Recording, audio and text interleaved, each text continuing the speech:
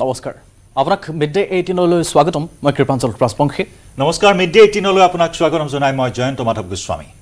প্ৰথমে জনাওঁ দেশবাসীৰ বাবে এটা খবৰ দেশবাসীৰ বাবে উচৰ্গা কৰা হৈছে নব্বৈটাকৈ প্ৰকল্প। প্ৰতিৰক্ষা মন্ত্ৰী ৰাজনাথ সিঙে মুকলি কৰিলে নব্বৈটা প্ৰকল্প। দুই হেজাৰ নশ একচল্লিছ কোটি টকা ব্যয় সাপেক্ষে নিৰ্মাণ কৰা হৈছে এই প্ৰকল্পকেইটা। জম্মুৰ দেৱক দলঙত অনুষ্ঠিত হৈছে এই অনুষ্ঠান। উত্তৰ পূবৰ দহখন সীমান্তৱৰ্তী ৰাজ্য কেন্দ্ৰীয় শাসিত অঞ্চলত নিৰ্মাণ কৰা হৈছে প্ৰকল্পকেইটা। উদ্বোধন কৰা হৈছে অৰুণাচলৰ বালিপৰা চৰ্দুৱাৰ টাৱাং পথৰ পাঁচশ মিটাৰ দৈৰ্ঘ্যৰ এয়া নেচিফু সুৰংগ। জম্মু কাশ্মীৰৰ বিছনা কৌলপুৰ ফুলপুৰ পথত চাৰিশ বাইছ দশমিক ন মিটাৰ দৈৰ্ঘ্যৰ দলং। লাডাখত নিৰ্মাণ হ'বলগীয়া নিউমা বিমানবন্দৰৰ শিলান্যাস প্ৰতিৰক্ষা মন্ত্ৰী ৰাজনাথ সিঙৰ।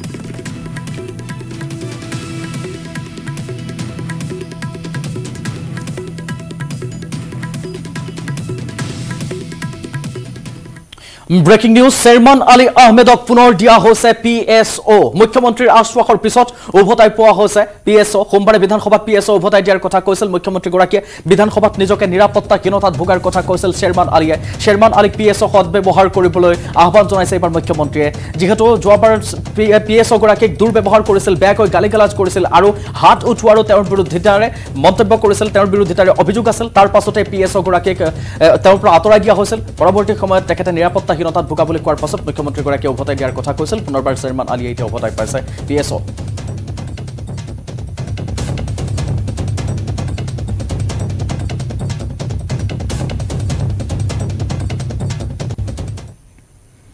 জনাওঁ আন এটা ব্ৰেকিং নিউজ। মহানগৰীত পুনৰ আত্মহত্যাৰ ঘটনা। এগৰাকী নৱবিবাহিতাৰ চিপ লৈ আত্মহত্যা। বিবাহৰ এবছৰ নহওঁতে চৰম পন্থা বাছি লৈ মহিলাগৰাকীয়ে এই কাণ্ড সংঘটিত কৰিলে। বৰা ছাৰ্ভিচত সংঘটিত হৈছে এই ঘটনা। মহিলাগৰাকীৰ নাম হৈছে ভাগ্যলক্ষ্মী দুৱৰা। পুনৰ জনাইছো মহানগৰীত সংঘটিত হৈছে আত্মহত্যাৰ ঘটনা। এগৰাকী নৱবিবাহিতাৰ চিপ লৈ আত্মহত্যা। বিবাহৰ এবছৰ নহওঁতে চৰম পন্থা মহিলাগৰাকীৰ। বৰা ছাৰ্ভিচত সংঘটিত হৈছে এই ঘটনা। মহিলাগৰাকীৰ নাম ভাগ্যলক্ষ্মী দুৱৰা বুলি জানিব পৰা হৈছে কিন্তু কি কাৰণত আত্মহত্যা কৰিলে সেয়া এতিয়াও জানিব পৰা হোৱা নাই। ঘটনাস্থলীৰ পৰা ছুইচাইড নোট উদ্ধাৰ কৰিছে নে নাই সেয়াও ইতিমধ্যে জানিব পৰা হোৱা নাই। আৰক্ষী ঘটনাস্থলীত উপস্থিত হৈ মৃতদেহ উদ্ধাৰৰ ব্যৱস্থা কৰিছে।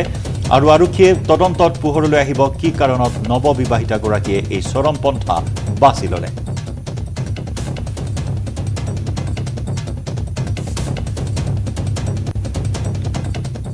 ৰাজ্যত শিশু বিক্ৰীৰ ভয়ংকৰ ঘটনা সংঘটিত হৈ আহিছে ধাৰাবাহিকভাৱে। নগাঁৱত পোন্ধৰ হাজাৰ টকাত দুমহীয়া শিশু বিক্ৰী হৈছে। নটাৰী কৰি বিক্ৰী কৰা হৈছে দুমহীয়া শিশুক। আমি এক্সক্লুচিভলি আপোনাক সেই দৃশ্য দেখুৱাবলৈ চেষ্টা কৰিছোঁ য'ত নটাৰী কৰা হৈছে। মোলাপাত্ৰীৰ সন্তানহীন দম্পতীক বিক্ৰী কৰিছিল শিশুটি। চি ডব্লিউ চিয়ে নগাঁও সদৰ থানাত দাখিল কৰিছিল এজাহাৰ। বিক্ৰী কৰা শিশুটিক উদ্ধাৰ কৰিছে পৰৱৰ্তী সময়ত আৰক্ষীয়ে। মাকগৰাকী আছিলে দুমাহৰ আগতে মানে বাচ্ছাটো দিছিলে এইটো ফেমিলিক তাৰপিছত আকৌ তেখেতক আকৌ কোনোবা এজনে লোভ দিলে যে আৰু এটা পৰিয়াল আছে যোনে পঁচিছ হাজাৰ টকা দিব। গতিকে তেখেতে গৈ পেলাই গাঁৱৰ আৰক্ষী চকী যোনটো আছে তাতে তেওঁ গৈ পেলাই আকৌ মানে আৰক্ষীক ক'লে যে মোৰ বাচ্ছাটো এনেকৈ ইলিগেলি লৈ গৈছে এইটো ফেমিলিয়ে তেতিয়া যেতিয়া আৰক্ষীয়ে দুইটা ফেমিলি যেতিয়া মাতিলে তেতিয়া গম পোৱা গ'ল যে এই এগ্ৰিমেণ্টটো কৰা হৈছে। সেই তেতিয়া যেতিয়া গম পালে আৰক্ষীয়ে লগালগ চি ডব্লিউ চিলৈ লৈ আহিলে। লৈ অহাৰ পিছত আমাৰ আমাৰ অফিচলৈ লৈ আহিলে। অফিচলৈ অনাৰ পিছতে এই গোটেইখিনি বস্তু যিহেতুকে বাচ্ছাটোৱে ব্ৰেষ্ট ফিডিং লৈ আছে সেইটো কাৰণে মাকৰ লগতে ৰখা হৈছে। কিন্তু যদি তেওঁলোকৰ এতিয়াতো ইনভেষ্টিগেশ্যনৰ কথা হৈ গ'ল যদি বস্তুটো সাব্যস্ত হয় তেনেহ'লে মাকৰ পৰা লৈ অহা হয় এয়া নগাঁৱৰ ঘটনা কৃপাঞ্জল আমি জনাইছো। আমাৰ দৰ্শকসকলক কেনেদৰে টকাৰ বিনিময়ত নিজৰ সদ্যজাত সন্তানক বিক্ৰী কৰিব পাৰে কি পাষাণ হৃদয়ৰ পিতৃ মাতৃ এয়া কি কাৰণত বিক্ৰী কৰা হৈছে আৰ্থিক দীনতাৰ বাবে এনেকুৱা ধৰণৰ ঘটনা সংঘটিত হৈছে নেকি যদি হৈছে সেয়া কিন্তু সবাতোকৈ দুৰ্ভাগ্যৰ বিষয়। নগাঁৱে নহয় এতিয়া মুকলিকৈ অসমৰ বিভিন্ন ঠাইত সন্তান বিক্ৰী কৰা হৈছে মানৱ শিশু বিক্ৰী কৰা হৈছে এখন যেন বজাৰ এতিয়া মানৱ শিশুৰ। মাত্ৰ এক লাখ টকাত বিক্ৰী হৈছে দুই দেৱ শিশু। আৰ্থিক দৈন্যতাৰ বাবেই শিশু বিক্ৰীৰ দৰে এটি ঘটনা এই মুহূৰ্তত সন্মুখলৈ আহিছে। শিশু বিক্ৰীৰ ঘটনা সংঘটিত হৈছে বি টি আৰৰ চিৰাং জিলাৰ ভাৰত ভূটান সীমান্তৰ ৰুণিখাটাত। একমাত্ৰ আৰ্থিক দৈন্যতাৰ বাবেই চিৰাং জিলাৰ ৰুণিখাটা থানাৰ শিলিখাগুৰিৰ এহাল দম্পতীয়ে ছমাহৰ ভিতৰত দুটিকৈ পুত্ৰ সন্তানক এক লাখ টকাৰ বিনিময়ত অন্যৰ হাতত বিক্ৰী কৰাৰ দৰে এটা চাঞ্চল্যকৰ ঘটনা সন্মুখলৈ আহিছে। দম্পতীহালৰ দুটি কণ কণ পুত্ৰ কন্যা থকাৰ পাছতো পুনৰ গৰ্ভৱতী হয় অৰ্থৰ অভাৱত অসুস্থ পুত্ৰক চিকিৎসা কৰিব নোৱাৰি। দুহেজাৰ বাইছ চনৰ নৱেম্বৰ মাহত নিজৰ ডেৰ বছৰীয়া পুত্ৰ সন্তানক চল্লিছ হাজাৰ টকাৰ বিনিময়ত ওচৰৰে খুংগ্ৰিং গাঁৱৰ অবিনাশ বৰগোৱাৰীৰ হাতত বিক্ৰী কৰি দিছিল। আৰু চলিত বৰ্ষৰ জুলাই মাহত দ্বিতীয় পুত্ৰ সন্তান হোৱাৰ বাবে এসপ্তাহৰ পিছতে শোণিতপুৰ জিলাৰ ঢেকীয়াজুলিৰ বাসিন্দা নিৰণ স্বৰ্গেৰীৰ হাতত ষাঠি হাজাৰ টকাৰ বিনিময়ত বিক্ৰী কৰে। এক বিশেষ সূত্ৰত তথ্যৰ ভিত্তিত ৰুণিখাটা থানাৰ ভাৰপ্ৰাপ্ত আৰক্ষী বিষয়া বিপ্লৱ কোঁৱৰে অনুসন্ধান চলোৱাত এই শিশু বিক্ৰীৰ সমগ্ৰ ঘটনা পোহৰলৈ আহিছে। আৰক্ষীয়ে নিজৰ সন্তান বিক্ৰী কৰা নিষ্ঠুৰ পিতৃ সুগম নাৰ্জাৰীৰ লগতে মানৱ শিশু ক্ৰয় কৰা অবিনাশ বৰগয়াৰী আৰু নিৰণ স্বৰ্গীয়াৰীকো গ্ৰেপ্তাৰ কৰিছে। অতি পৰিতাপৰ বিষয় অতি দুৰ্ভাগ্যৰ বিষয় আৰ্থিক দীনতাৰ বাবে এতিয়া মানৱতাক জলাঞ্জলি দিবলগীয়া হৈছে এইসমূহ পৰিয়ালে। আৰ্থিক দীনতা কৃপাঞ্জল অত্যন্ত এটা গুৰুতৰ সমস্যা কাৰণ দৰিদ্ৰ শ্ৰেণীৰ লোকৰ বাবে বিভিন্ন ধৰণৰ আঁচনি ৰূপায়ণ কৰা হৈছে। বহু অভিলাষী আঁচনি আছে। এই আঁচনিসমূহৰ সুবিধা এইসমূহ পৰিয়ালে পোৱা নাই নাই নেকি?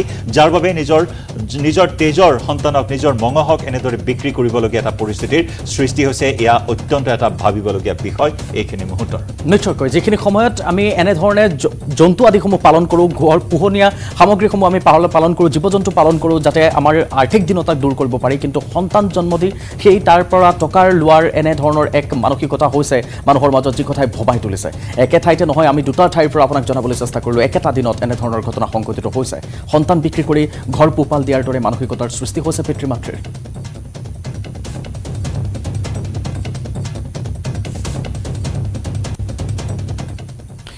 কলিয়াবৰৰ বৰভগীয়াত ভয়ংকৰ পথ দুৰ্ঘটনাৰ এটা খবৰ আহিছে শিল পৰিৱেশী কৰিছে ইতিমধ্যে যৌথ বহুখিনি চুক্তিৰ স্বাক্ষৰ হৈছে।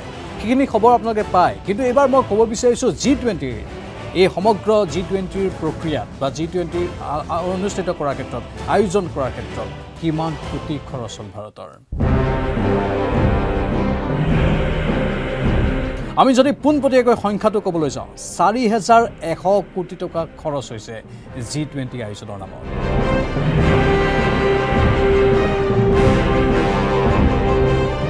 হয় চাৰি হেজাৰ এশ কোটি টকা। বৃহৎ ধনৰাশি খৰচ কৰা হৈছে আৰু আমি বৰ সুন্দৰ এক পৰিৱেশ দেখিবলৈ পাইছোঁ দেশৰ ৰাজধানী দিল্লীত। জাতিষ্কাৰ হৈ পৰিছে জিলিকি উঠিছে দেশৰ ৰাজধানী দিল্লী। আমেৰিকাৰ যুক্তৰাষ্ট্ৰৰ ৰাষ্ট্ৰপতি আহিছে ব্ৰিটেইনৰ প্ৰধানমন্ত্ৰী আহিছে আন আন দেশৰ যিসকল ৰাষ্ট্ৰনেতা তেওঁলোকে ভিৰ কৰিছে আৰু তেওঁলোকক আপ্যায়নৰ বাবে কটকিছে কৰা নাই। আৰু সেইটো কৰাটো আমাৰ দায়িত্ব কাৰণ অতিথিক আপ্যায়ন কৰাটো ভাৰতবাসীৰ পুৰণা এটা ৰীতি। ভাৰতবাসীয়ে সদায় অতিথিক আপ্যায়ন কৰে আৰু ভাৰতবাসীৰ অতিথি আপ্যায়নত সদায় সকলো বিশ্বৰ আন প্ৰান্তৰ লোক সন্তুষ্ট হৈহে উভতি যায়। আৰু সেই বিষয়ত যাতে কোনো অসম বিধানসভাত উত্থাপন হ'ল বহু চৰ্চিত অসম পঞ্চায়ত সংশোধনী বিধেয়ক দুহেজাৰ তেইছ। গাঁও পঞ্চায়তৰ সভাপতি পদৰ বাবে পৰোক্ষ নিৰ্বাচনৰ পোষকতা কৰা হৈছে। গাঁও পঞ্চায়তত দহ সদস্যৰ মাজৰ পৰাই সভাপতি নিৰ্বাচন কৰা হ'ব। গাঁও পঞ্চায়তৰ নিৰ্বাচনত প্ৰাৰ্থীৰ কোনো দলীয় প্ৰতীক নাথাকিব। প্ৰথম আঢ়ৈ বছৰৰ বাবে অনাস্থা প্ৰস্তাৱ আনিব নোৱাৰিব। পঞ্চাছ শতাংশতকৈ কম সদস্যই দল ত্যাগ কৰিলে অযোগ্য ঘোষণা কৰা হ'ব। গাঁও পঞ্চায়ত আঞ্চলিক পঞ্চায়ত আৰু জিলা পৰিষদৰ সভাপতি আৰু উপসভাপতিৰ কাৰ্যকালৰ প্ৰথম আঢ়ৈ বছৰৰ বাবে অনাস্থা প্ৰস্তাৱ আনিব বা কৰিব নোৱাৰিব। জিলা পৰিষদ আৰু আঞ্চলিক পঞ্চায়তৰ নিৰ্বাচনত ৰাজনৈতিক কোনো ধৰণৰ প্ৰতীক থাকিব আৰু বিবাহৰ আইনী বয়স উলংঘা কৰা পঞ্চায়তৰ নিৰ্বাচিত প্ৰতিনিধিক অযোগ্য ঘোষণা কৰা হ'ব। গাঁও পঞ্চায়তসমূহৰ পুনৰ গঠন কৰা হ'ব। জিলাৰ শ্ৰেণী বিভাজন অনুসৰি হ'ব পঞ্চায়তৰ পুনৰ গঠন আমি গ্ৰাফিকেলিও দেখুৱাই যাবলৈ চেষ্টা কৰিছোঁ আপোনাক। জনসংখ্যাৰ ঘনত্বৰ আধাৰত হ'ব জিলাৰ শ্ৰেণী বিভাজন। পঞ্চায়ত নিৰ্বাচনত ই ভি এম থাকিব দল ত্যাগ কৰা ৰাজনৈতিক দলৰ সদস্যক অযোগ্য ঘোষণা কৰা হ'ব এনে কেত- কেতবোৰ নীতি নিয়মৰ পোষকতা কৰা হৈছে। দিনত পঞ্চায়তৰ সভাপতি নিৰ্বাচনটো আমি পোনপটীয়াকৈ নকৰোঁ। যিসকল দহগৰাকী পঞ্চায়তৰ ৱাৰ্ডৰ সদস্য নিৰ্বাচিত হয় সেই ৱাৰ্ডৰ সদস্য নিৰ্বাচিত হোৱাৰ পৰা এগৰাকী পঞ্চায়তৰ সভাপতি হ'ব আৰু এগৰাকী উপসভাপতি হ'ব। দ্বিতীয় আমি প্ৰস্তাৱ আনিছোঁ যে এবাৰ সভাপতি নিৰ্বাচিত হোৱাৰ পিছত বা সভানেত্ৰী নিৰ্বাচিত হোৱাৰ পিছত আঢ়ৈ বছৰ দিনলৈ তেওঁৰ বিপক্ষে কোনো ধৰণৰ অনাস্থা প্ৰস্তাৱ আনিব নোৱাৰিব আৰু পৰৱৰ্তী সময়ত আঢ়ৈ বছৰৰ পিছত আৰু এবাৰহে অনাস্থা প্ৰস্তাৱ আনিব পাৰিব অৰ্থাৎ সৰ্বমুঠ দুবাৰ অনাস্থা প্ৰস্তাৱ আনিব পাৰিব। গাঁও পঞ্চায়তৰ নিৰ্বাচনত অন্ততঃ যিসমূহ ৱাৰ্ডৰ সদস্য নিৰ্বাচিত হ'ব আমি নন পলিটিকেলি কৰাৰ কথা ভাবিছোঁ। যাতে কৰিব পাৰে তেওঁ পলিটিকেলি জড়িত থাকক নাথাকক। আন এটা প্ৰস্তাৱ ৰাখিছোঁ যে জিলা পৰিষদৰ ক্ষেত্ৰত দলত্যাগ বিৰোধী আইন আমি প্ৰযোজ্য কৰিম এইবাৰ। কাৰণ জিলা পৰিষদৰ সদস্যসকলে নিৰ্বাচিত হোৱাৰ পিছত বিভিন্ন ধৰণৰ জিলা পৰিষদ ভঙা পতা আমি দেখি আহিছোঁ। যাৰ কাৰণে দলত্যাগ বিৰোধী আইনখনো আমি ৰাখিম। ইয়াৰ উপৰিও মেট্ৰিক পাছ হ'ব লাগিব সদস্য হ'ব লাগিলে S T S C O' B চিৰ ক্ষেত্ৰত ক্লাছ এইট আৰু আঞ্চলিক পঞ্চায়তৰ জিলা পৰিষদৰ ক্ষেত্ৰত দ্বাদশ শ্ৰেণী পাছ কৰিব লাগিব। আৰু S T S C O' B C হ'লে তেওঁ মেট্ৰিকুলেট হ'লে হ'ব। এনেকুৱাকৈ কেইবাটাও আমি প্ৰস্তাৱ আমি আনিছোঁ। সেইটো কথা নাই। কাৰণ তেখেতৰ নিৰ্বাচনত প্ৰতীক চিহ্ন হ'ব নোৱাৰিব। তেওঁ যিকোনো মানে নিৰ্দলীয়ৰ যি প্ৰতীক চিহ্ন। তেওঁ আমাৰ যিকেইটা দলীয় প্ৰতীক চিহ্ন থাকিব। যেনেকৈ পদুম ফুলেই হওক বা হাতে হওক বা ইউ ডি এফৰ যি দলে হওক বা এ জি পিৰে হওক বা হাতীয়ে হওক সেইবিলাক ফ্ৰিজ হৈ যাব অট'মেটিকলি আৰু বাকী যিবোৰ থাকি থাকিব। সেইবিলাক প্ৰতীকত তেওঁলোকে নিৰ্বাচনত অংশগ্ৰহণ কৰিব জেড পি চি আৰু আঞ্চলিক পঞ্চায়তৰ ক্ষেত্ৰত প্ৰতীক চিহ্ন থাকিব আৰু গাঁও পঞ্চায়তৰ সদস্যৰ ক্ষেত্ৰত। সদস্য মানে সদস্যৰ পৰাই যিহেতু সভাপতি হ'বগৈ। গতিকে গাঁও পঞ্চায়তৰ যিগৰাকী সভাপতি হ'ব সেইটো নন পলিটিকেল হ'ব এতিয়া বাল্য বিবাহ কৰি হাইলাকান্দিত গ্ৰেপ্তাৰ হ'ল অবৈধ স্বামী। হাইলাকান্দিৰ পাঁচ গ্ৰাম আৰক্ষী অভিযান চলাই জানকী বজাৰৰ পৰা গ্ৰেপ্তাৰ কৰে অভিৰাম দাস নামৰ এজ- এজন অবৈধ স্বামীক child marriage prohibited act two thousand six আৰু পক্সো আইনৰ বিভিন্ন ধাৰাৰ গোচৰ ৰুজু কৰা হৈছে গ্ৰেপ্তাৰ অভিৰাম দাসৰ বিৰুদ্ধে। এগৰাকী সোতৰ বছৰীয়া নাবালিকাক বিবাহ কৰাৰ অপৰাধত গ্ৰেপ্তাৰ কৰা হৈছে অভিৰামক। অসম আৰক্ষীয়ে শিশু সুৰক্ষা সমিতি চাইল্ড লাইনৰ সহযোগত অভিযান চলাই নাবালিকাক উদ্ধাৰ কৰাৰ লগতে বাল্য বিবাহ কৰাৰ অপৰাধত একৈছ বছৰীয়া অভিৰাম দাসক গ্ৰেপ্তাৰ কৰে। ইতিমধ্যে বাৰে বাৰে সকিয়নি দিছে মুখ্যমন্ত্ৰী হিমন্ত বিশ্ব শৰ্মাই। বাল্য বিবাহৰ বিৰুদ্ধে অভিযান টু পইণ্ট আৰম্ভ হ'ব অতি শীঘ্ৰেই। পোন্ধৰ ছেপ্টেম্বৰৰ পৰা ধাৰাবাহিক গতিত অভিযান দ্বিতীয়টো অভিযান আৰম্ভ কৰা হ'ব। এই অভিযানত পুনৰ তিনি সহস্ৰাধিক অবৈধ বেআইনী স্বামী জালত পৰিব বুলি মুখ্যমন্ত্ৰীগৰাকীয়ে কালি শৰৎকালীন অধিৱেশনতো উল্লেখ কৰিছে আৰু সেইমৰ্মে অভিযান ইতিমধ্যে আৰম্ভ কৰা হৈছে। হাইলাকান্দিৰ পৰা গ্ৰেপ্তাৰ কৰা হৈছে এইজন অবৈধ স্বামীক।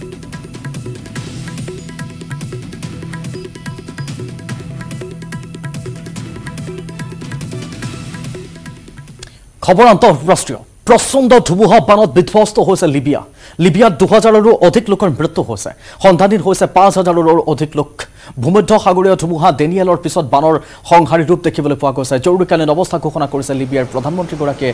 দেশখনৰ ডেৰনা চহৰত আটাইতকৈ ভয়াৱহ পৰিস্থিতিৰ সৃষ্টি হৈছে। লগতে বিচ্ছিন্ন হৈ পৰিছে বিদ্যুৎ আৰু যোগাযোগ ব্যৱস্থা। মুঠৰ ওপৰত জনজীৱন বিধ্বস্ত হৈ পৰিছে লিবিয়াত।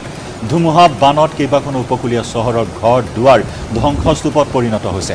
দুটা দিনে ডেনিয়েলে থান বান কৰিছে দেশখন। বান ধুমুহাই এনেদৰে টচ নচ কৰি গৈছে। বৃহৎ বৃহৎ অট্টালিকা ভাগি পৰিছে তাজপাতৰ দৰে। বানৰ কোবাল ফুট এতিয়াও এনেদৰে অব্যাহত আছে। ঘাঁহিমুহি নিছে বাট পথ গাড়ী মটৰ সকলো গছ গছনি চৌ চৌদিশে ছিন্ন বিচ্ছিন্ন হৈ পৰি ৰোৱা পৰিলক্ষিত হৈছে যাৰ বাবে বিদ্যুৎ সংযোগ যাতায়াত ব্যৱস্থা সম্পূৰ্ণৰূপে ব্যাহত হৈ আছে। ডেনিয়েলৰ তাণ্ডৱ ডেনিয়েলৰ ধ্বংসলীলা। এয়া ডেনিয়েল জৰুৰীকালীন অৱস্থা ঘোষণা কৰা হৈছে। ভূমধ্য সাগৰীয় ধুমুহা ডেনিয়েলৰ ধ্বংসলীলা তাণ্ডৱলীলা এতিয়া লিবিয়াৰ বিস্তীৰ্ণ অঞ্চলত।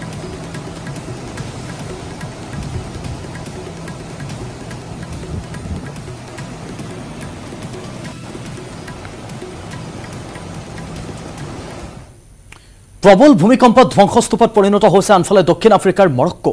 আমি আপোনাক ধাৰাবাহিকভাৱে সেই দৃশ্য দেখুৱাই আহিবলৈ চেষ্টা কৰিছোঁ শুকুৰবাৰৰ দিনটোৰ পৰা। ভূমিকম্পত এতিয়ালৈকে দুহাজাৰ আঠশৰো অধিক লোকৰ মৃত্যু হৈছে। ভূমিকম্পত আহত হৈছে প্ৰায় আঢ়ৈ হাজাৰ লোক। আৰু ইয়াৰে সংকটজনক অৱস্থাত চিকিৎসাধীন হৈ আছে পোন্ধৰশ লোক। ধ্বংসস্তূপত পৰিণত হৈছে আলমাৰ্জ চুচাহ শ্বাহাট আৰু আল বাইডা চহৰ। এতিয়াও ধ্বংসস্তূপৰ মাজত অব্যাহত আছে উদ্ধাৰ অভিযান। ধ্বংসস্তূপত এতিয়াও লোক আবদ্ধ হৈ থকাৰ সন্দেহ কৰা হৈছে। মাৰাকুছৰ পৰা প্ৰায় ছয়চল্লিছ মাইল দক্ষিণ পূব মৰক্কোৰ হাই এটলাছ পৰ্বতমালা আছিল এই ভূমিকম্পৰ অভিকেন্দ্ৰ। ভূমিকম্পৰ প্ৰাবল্য আছিল ৰিক্টাৰ স্কেলত ছয় দশমিক আঠ। ভূমিকম্পৰ ফলত চহৰখনৰ ঘৰ দুৱাৰ আৰু বহু ঐতিহাসিক স্থানৰ ক্ষতি সাধন হৈছে। ধ্বংসস্তূপ চৌদিশে এতিয়া ধ্বংসস্তূপ চৌদিশে এতিয়া মৃত্যু উপত্যকা মৰক্কোত এতিয়া মৃত্যুৰ কিৰিলি এই ধ্বংসস্তূপৰ মাজত আৰু বহু মৃতদেহ আবদ্ধ হৈ থকাৰ সন্দেহ কৰা হৈছে অনুমান কৰা হৈছে আৰু তাৰে ভিত্তিত যুদ্ধংদেহী গতিত বৰ্তমানে উদ্ধাৰ অভিযান চলি আছে। ভূমিকম্পৰ আতংক ভূমিকম্পৰ সন্ত্ৰাস এয়া। ভূমিকম্প ছয় দশমিক আঠ প্ৰবলৰ ভূমিকম্পত এনেদৰে মুহূৰ্তৰ ভিতৰতে ভাঙি চুৰমাৰ হৈ পৰিল মৰক্কোৰ বিস্তীৰ্ণ অঞ্চল। প্ৰকাণ্ড প্ৰকাণ্ড অট্টালিকা এনেদৰে অন কেমেৰা ধ্বংসস্তূপত পৰিণত হ'ল।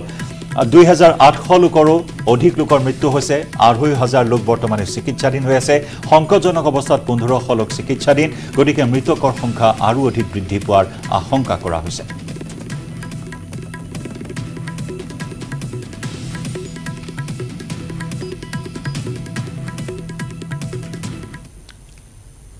এছ এম চি এইচত কনিষ্ঠ চিকিৎসকে আকৌ গুণ্ডাগিৰি দেখুৱাইছে। সবিস্তাৰে লৈ আহিবলৈ চেষ্টা কৰিম মিড ডে এইটিনত এটা বিৰতিৰ পিছত। সাধাৰণ ষ্টীল এনেকৈ পৰে। তেওঁলোকে পায়। কষ্টৰ বিনিময়ত যিখিনি প্ৰাপ্য আছে তাত আপুনি চাই আছে মিড ডে এইটিন। অসম বিধানসভাৰ শৰৎকালীন অধিৱেশনৰ আজি হৈছে দ্বিতীয় দিন। আজিও বিধানসভাত বিভিন্ন বিষয়ক লৈ হৈছে আলোচনা। বিশেষকৈ ঘেঁহু কেলেংকাৰীক লৈ সদনত হুলস্থুলীয়া পৰিৱেশৰ সৃষ্টি হয়। বিৰোধী কংগ্ৰেছে সদন কমিটি গঠনৰ দাবী উত্থাপন কৰে। মন্ত্ৰী ৰঞ্জিত কুমাৰ দাসে বিচাৰে লিখিত অভিযোগ। সদনত সৰব হৈ পৰে নুৰুল হুদা দেৱব্ৰত শইকীয়া। অসম চৰকাৰক মুদ্ৰাবাদ ধ্বনি দিলে কমলাক্ষ পুৰকায়স্থই ইয়াকে লৈ উত্তপ্ত পৰিস্থিতিৰ সৃষ্টি হ'ল সদনৰ কাৰ্যক্ৰমণিকাত। চলি আছে দ্বিতীয় দিনৰ কাৰ্যক্ৰমণিকা। আগবঢ়াম অধিৱেশনৰ পোনপটীয়া সম্প্ৰচাৰ।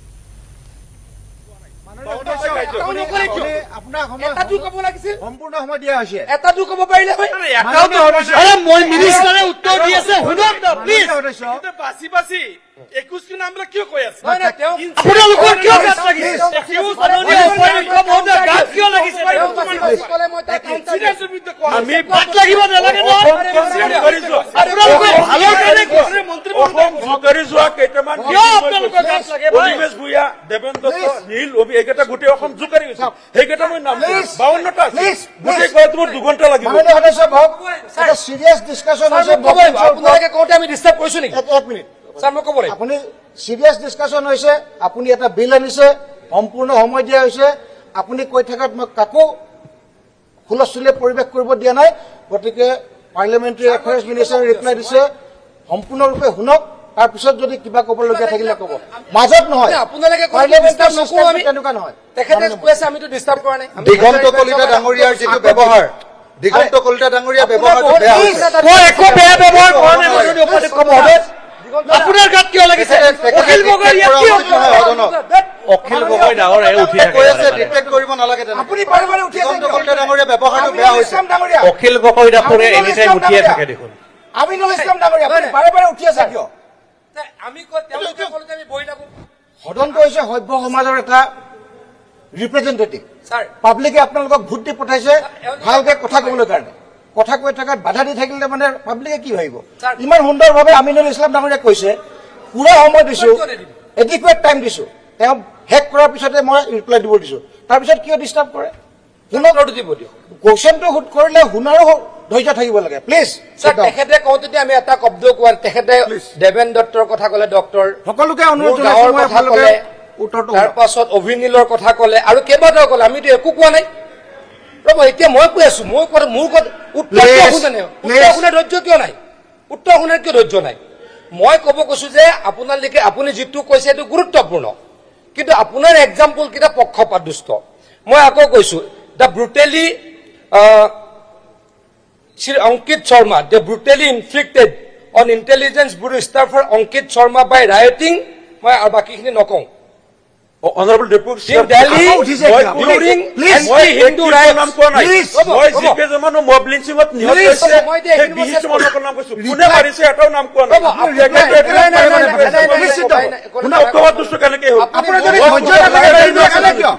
মই যিসকল ভিক্টিমত ৰ'ব। উত্তৰটো শুনক মইতো হত্যাকাৰীৰ নাম কোৱা নাই না আপোনাৰ কিয় ধৈৰ্য নাই উত্তৰটো আপোনাৰ মতে হওক বা সদনৰ মতে হওক উত্তৰ দিছে উপাধ্যক্ষ. ডাঙৰীয়া তেখেতে যিটো বাৰে বাৰে কালিও কৈছে আজিও কৈছে আহঁতগুৰি তাত মোৰ ঘৰ। য'ত হৈছে মই গুৱাহাটীত থাইছো তেতিয়া মই গুৱাহাটীত থকা নাই। মোৰ ঘৰৰ পৰা দুই কিলোমিটাৰ। আৰু মোৰ গাঁৱৰ পঁচিছজন প্ৰায় বাইছজন তেইছজন হ'ব। একজেক্ট নাম্বাৰটো মই নাজানো বিছজনৰ ওপৰত। মানুহক পুলিচে এৰেষ্ট কৰিছে। আমিতো কেতিয়াও কোৱা নাই। এৰেষ্ট নকৰিব মোৰ গাঁৱৰে মানুহ। আমিতো কোৱা নাই। আমি কাকো বাধা দিয়া নাই। গৈ সোধক মৰিগাঁৱৰে আপুনি বিধায়ক। গতিকে আমি যি কৰিছো নিৰপেক্ষতাৰে কৰিছো। আপোনালোকে এক্সাম্পল কেইটা দিয়ে বেলেগৰ এক্সাম্পল দিয়ে কিছুমান এক্সাম্পল নিদিয়ে। মই এক্সাম্পল কেইটাহে দিলো। গতিকে এইটো সকলোৱে কৰে। এইটো এইবিলাক বেয়া মানুহে কৰে। বেয়া মানুহ আপোনালোকৰ ফালো আছে বেয়া মানুহ আমাৰ ফালো আছে। গতিকে মই কি ক'ব খুজিছো যিহেতু চি আৰ পি চিত আই পি চিত আমি এই মব লিঞ্চিং কৰা ব্যক্তিৰ বিৰুদ্ধে কঠোৰ ব্যৱস্থা লৈছো। গতিকে এইখন বিলৰ কোনো প্ৰয়োজন নাই বুলি মই উপলব্ধি কৰো। ধন্যবাদ। ধন্যবাদ। এতিয়া মাননীয় সদস্য ছাৰ আপোনাৰ- যিটো বিল উত্থাপন কৰিলে তাক আপুনি প্ৰত্যাহাৰ কৰিব নেকি? ছাৰ আমি অকণমান পাৰ্ট ল'ব বিচাৰিছো। আপুনি প্ৰত্যাহাৰ কৰিব নেকি? ছাৰ আমি অকণমান এইটো এতিয়া প্ৰশ্নটো হ'ল যিসকল ছাৰ, মাননীয় সদস্য সদস্য মহোদয়, তেখেতসকলে আমি অংশগ্ৰহণ কৰিব বিচাৰিছো। যিসকল বিপক্ষে আছে উপাধ্যক্ষ মহোদয় হয় উপাধ্যক্ষ মহোদয় মই ভাবো উপাধ্যক্ষ মহোদয় আমি এইখিনি যিসকল বিপক্ষে আছে ডিছকাশ্যন দিয়ক। কওক নহয়। বিলটোত ডিছকাশ্যন হ'ব লাগে। মই ভাবো নহয় সপক্ষে নহয় সপক্ষে নহয় সপক্ষে ডিছকাশ্যন নোহোৱাকে বিল কেনেকে। পাছ হয়? বিধেয়কখন নাকচ হৈছে। কৰক আৰু। চাৰিখন ৰাজ্য ইতিমধ্যে মব লিঞ্চিঙৰ বিৰুদ্ধে বিল পাছ কৰিছে। ঝাৰখণ্ডে পাছ কৰিছে হাৰিয়ানাই পাছ কৰিছে। মণিপুৰে পাছ কৰিছে ৱেষ্ট বেংগলে পাছ কৰিছে। আৰু অসম ৰাজ্যই আজি এখন মব লিঞ্চিঙৰ বিৰুদ্ধে বিল আহিছে। সেই বিলখনক নানান ধৰণৰ অজুহাত দেখুৱাই এইটো পাছ কৰিব নোৱাৰি বুলি যি এটা ধাৰণা সকলোকে দিব বিচাৰিছে এই ধৰণৰ ধাৰণা সঠিক। আশ্ৰাফুলৰ মুখত এইবিলাক শুবা নাপায়। আমি বহুত কথা জানো শুবা নাপায় আশ্ৰাফুলৰ মুখত। বাকী বিধায়কে কওক আশ্ৰাফুলে ক'লে শুবা নাপায়। এইটো আমাৰ বিশ্বাস। নাপায়? কিয় নাপায়? কিয় নাপায়? কিয় নাপায়? জানে তেখেতে জানে নাই আশ্ৰমলৈ কি হ'ল? কি হ'ল? আশ্ৰমলৈ কি হ'ল? এই- কেনেকুৱা কথা ভাই? ভালকে কি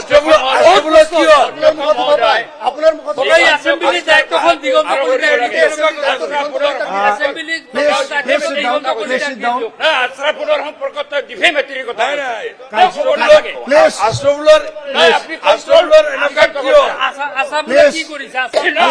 কি কৰিলে যে কেনেকৈ ক'ব পাৰে এতিয়া কাৰ্য পাছ সংকল্প প্ৰস্তাৱ। আমাৰ দেৱপুত্ৰ শইকীয়া প্ৰথম কৈছিলে তেখেত অনুপস্থিত অলপ দেৰিকে কম বুলি ক'লে। তো গতিকে দ্বিতীয় সংকল্প প্ৰস্তাৱ এতিয়া মই ৰুল হাণ্ড্ৰেড ফিফটিনৰ অধীনত পাৰ্চিলে হ'ব দিছে। দ্বিতীয় সংকল্প প্ৰস্তাৱ শ্ৰী ভাস্কৰ জ্যোতি বৰুৱা। তেওঁ সংকল্প প্লিজ আপোনালোকে গ- অসম চৰকাৰক মুৰ্দাবাদ দিছে।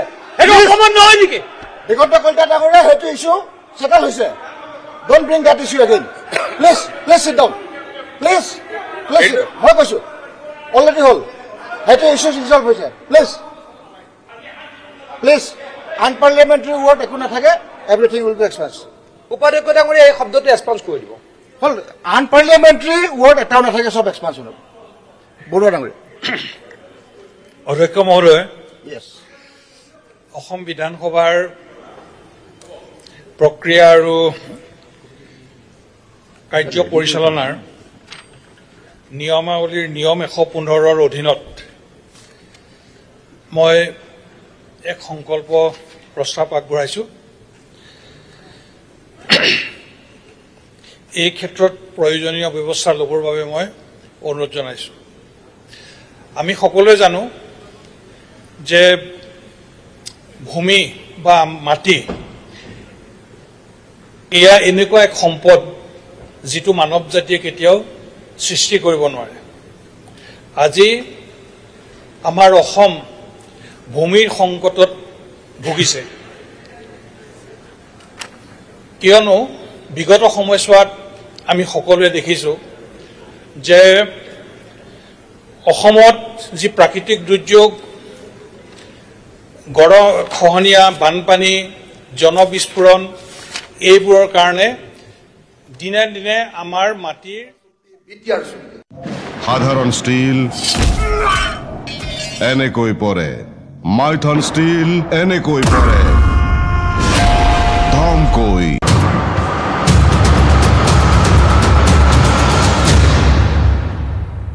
বাতৰি আগবঢ়াই। হয়। ভলেণ্টিয়াৰসকলক প্ৰাপ্যখিনি দিয়া